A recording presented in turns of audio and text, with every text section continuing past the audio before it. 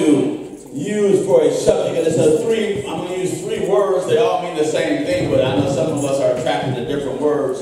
Uh, so one of it is, Lord, help me to have a nevertheless praise. Help me to have a nevertheless praise. Or, Lord, help me to have a yet praise, a yet praise. And then the third is, Lord, help me to have a under all conditions praise. Amen. Lord, help me to have a nevertheless praise. Lord, help me to have a yet praise. A yet. This is what Habakkuk gave us here was a yet praise. A yet praise. And then finally, Lord, help me to have a under all conditions praise. Under all conditions praise. Now that's hard to say. That's why I'm saying I didn't say I have it. I said, Lord, help me to have it. See, I didn't say I have a under all conditions praise. I'm saying, Lord, help me to have uh, under all conditions praise. I mean, it don't matter what's going on, I still can praise. Glory, Lord. Doesn't matter what I see, I still can praise. Uh, doesn't matter what's going on in that particular moment, I still can praise right then. That's where we ought to get to a point where we got to aspire. Lord, help me to have a under every condition, under every situation, help me to have a yet praise. That means you describe it and then you say yet. You know what I'm saying? Uh, things aren't well, but yet. I got a headache, yet. My belly's hurting, but yet. Right, right. My, my car's not working, but yet. Uh, things are falling apart in my house, but yet. Amen. My friendships are messed up, but yet. Amen. Girlfriend, boyfriend, husband, wife not acting right, but yet. See, there's a yet praise. A yet praise that even after I tell the truth about my situation, I still can say yet. Oh, Lord, yet God is still good. Yet God is still my healer. Because even when I got a headache, yet God is my healer. All right, even when I got a, a bellyache, yet God is my healer. Uh, even when I feel bound, yet God is still my deliverer. Right, even when I'm in shackles, yet God is still my freedom. So I said the yet, you got to get to a point where that yet, and the yet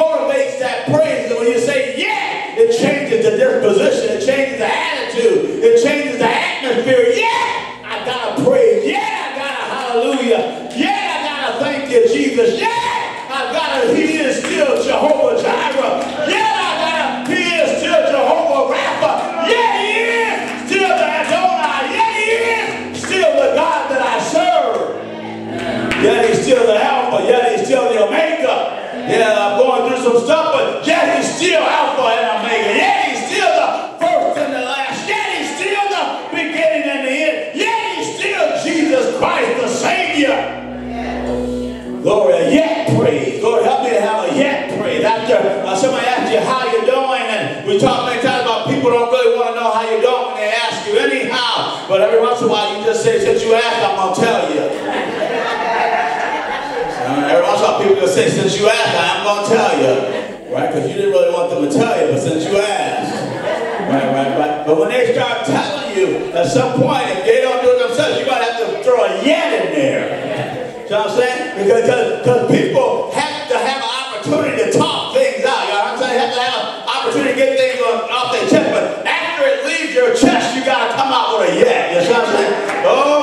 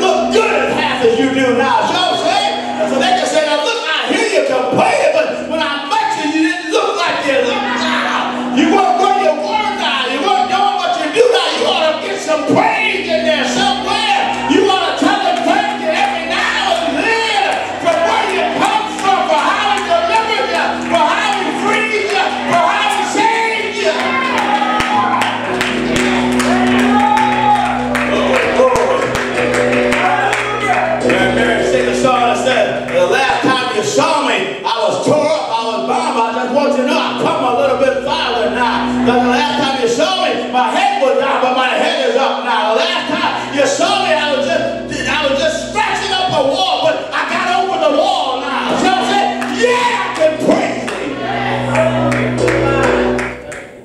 And nevertheless, praise. Understanding, David says in Psalms 42 and 5, he said, now, he said, why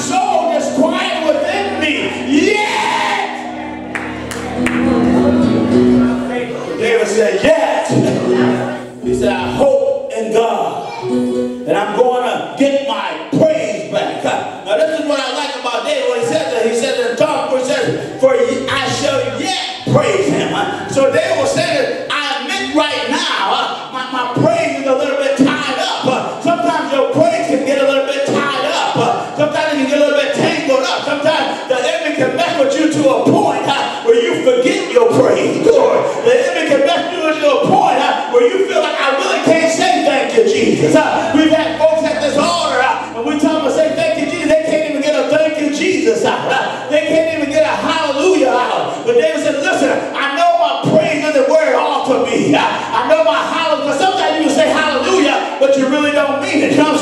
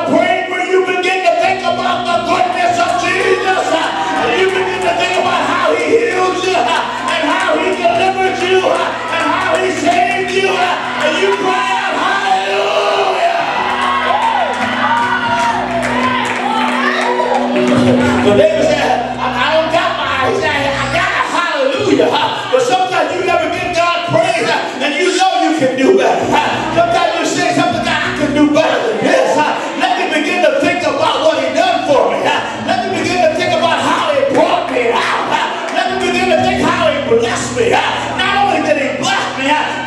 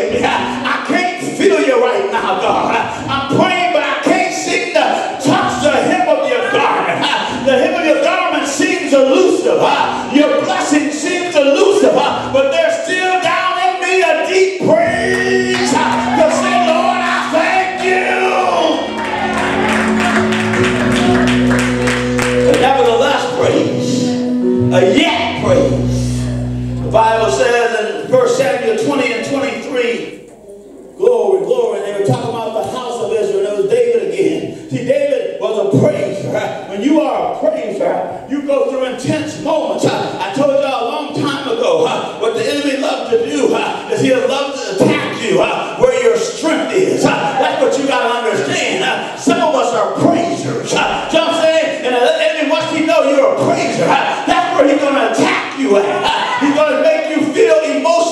insecure uh, about your praise. Uh, He's going to make you feel like you don't deserve to praise God. Uh, you're not living up to the standard of praise. He's going to make you feel like you are not praising God because you don't have the language of praise. He's going to make you feel like you can't praise God because everybody else is doing better than you doing. But you got to bind the devil in the name of Jesus Christ. And you got to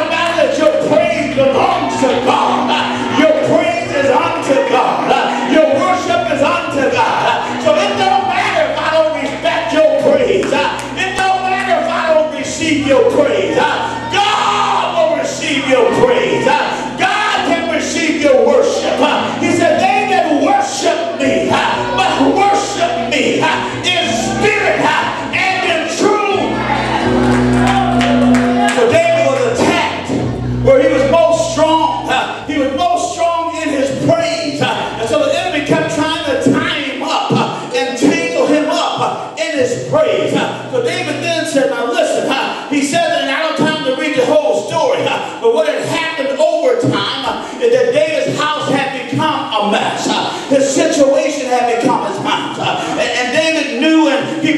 the promises of God. And God had told David that you shall reign forever. Your seed shall reign forever in my kingdom. That your family will always be the head of my kingdom. But when David looked around, he saw a mess. He saw Absalom fighting. He saw Amnon fighting. He saw all kind of fighting in his house. The women were fighting. The children were fighting. You ever had a house like that? Don't raise your hand. But Lord have mercy lie.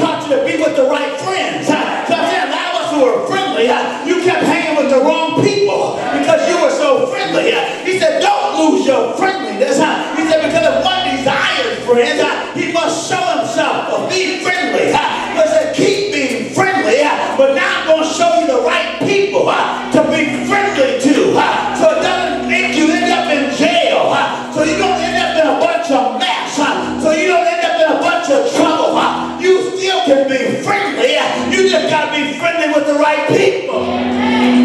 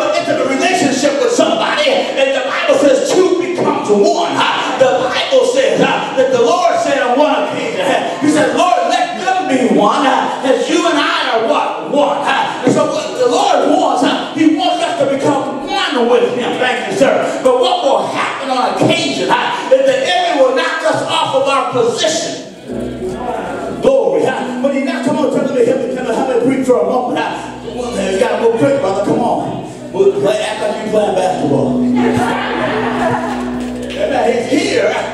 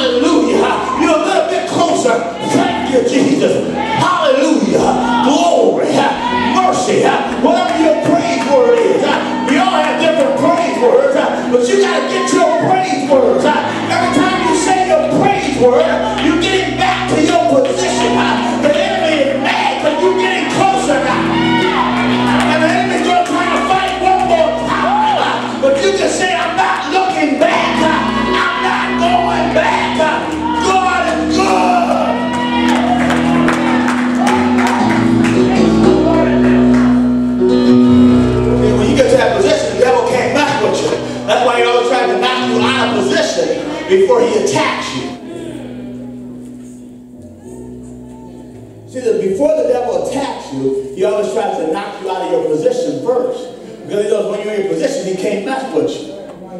But if he can get you out of your position, he begins to mess with you. And because you don't have the right response, because you're not in the right position, he keeps messing with you over and over again. But I said, why the same thing coming over and over again? Because you're in the wrong position. But you get positioned again. Yeah. Then you're going to say, devil, you got to go by me this time. Devil, you can go, you can go around me, but you're not going through me. You what I'm saying? Lord, oh, glory. You can tell the devil, you can sneak under my legs, but don't touch me when you go.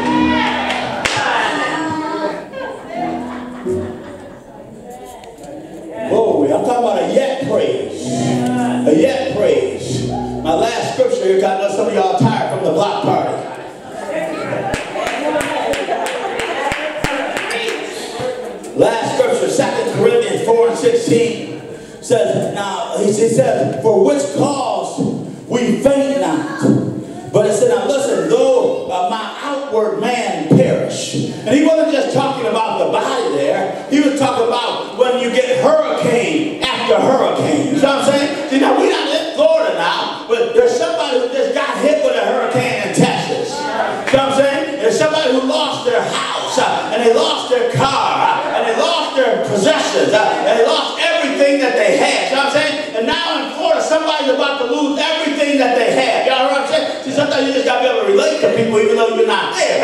They're about to lose everything that they have. But thank God, uh, you still don't have to lose your praise. You know what I'm saying? When, when he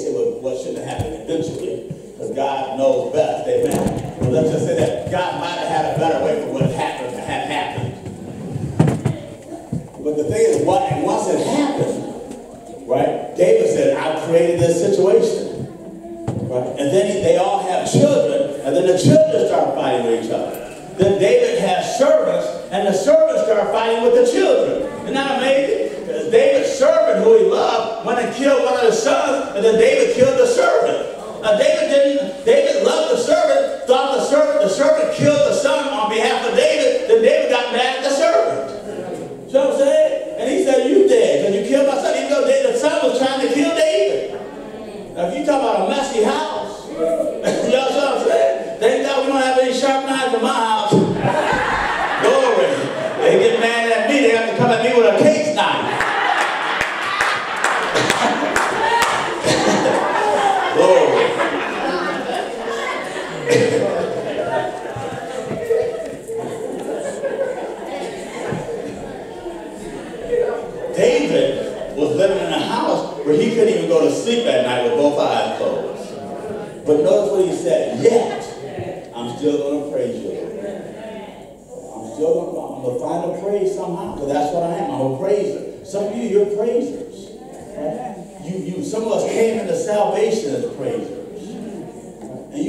enemy to move you off your position because of all the stuff that's going on in life, that's where your strength is, your praise. Right? You got to say, don't let the enemy send you messages about yourself that God didn't say. Let me say again, don't let the enemy send you messages about yourself that God didn't say about you. See, because the, enemy does, he twists God's word. Remember what you Adam and Eve? Thou shalt not surely die. But what he do to us, you can't praise the Lord. You didn't come to church last Sunday. If you didn't come that church or something, praise Him even more. Make up the last time. Yeah.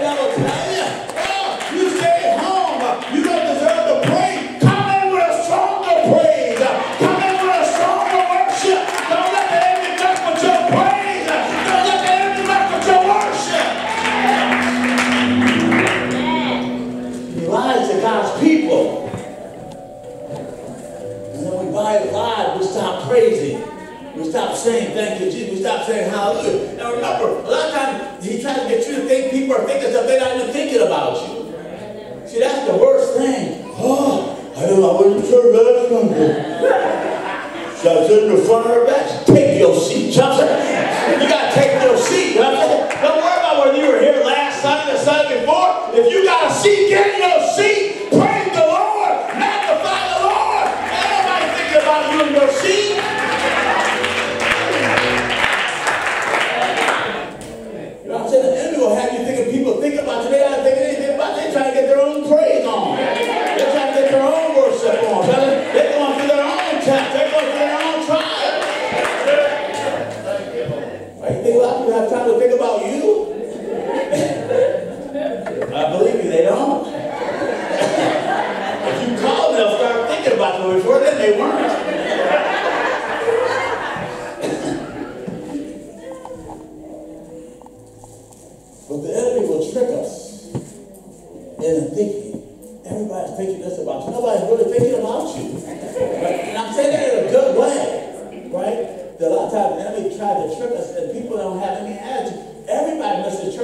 once in a while. Right? Don't let the enemy play that on you.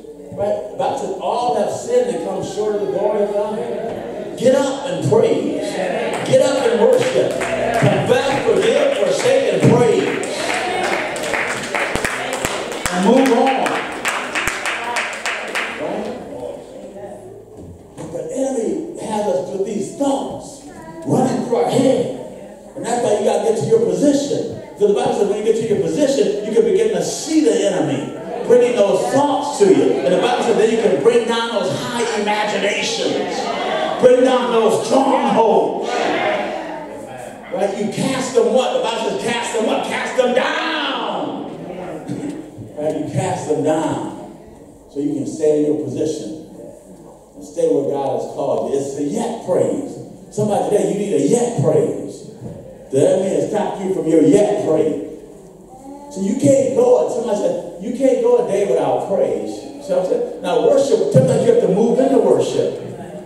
Should never go a day without praise. You know what I'm saying? You don't have to go a day, you don't have to go any time without praise. The Bible says, let everything that have breath praise ye the what? Now you we get to the point where we don't have to go a day without worship, but we definitely don't want to go a day without praise. Right? You got you gotta have a yet praise. A yet praise the Lord, I see all this. David said, My house is a mess. Yet. Thank you, Jesus. Yet I love you. Right? That little song you say, she's saying, I really love the Lord. Y'all remember that song? I really love the Lord. See, that's one of those ones that'll get you crying, get your breakthrough. So you gotta have some breakthrough songs. That's part of praise. Singing is part of praise. Songs are part of praise. But you don't always have to sing them. Because I tell I don't sing them myself because I can't sing. I just sing it in my mind with, with the best voice I can right? You give me a high soprano, I'm on my top. So you don't have to sing yourself. Just get you whatever you got. Some of y'all alto, some of y'all like tenor, some of y'all like soprano, whoever you like. Get them in your mind and start boogalooing.